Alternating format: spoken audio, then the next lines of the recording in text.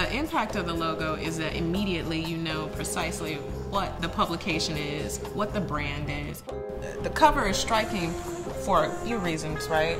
Red is always going to grab the eye. It's provocative without being overly sexual. Also, too, it's what um, the artist chooses to play up within the image the eyes, the lips, the fingers. So I think all of these kind of dark hues really um, create a, an image that's kind of timeless.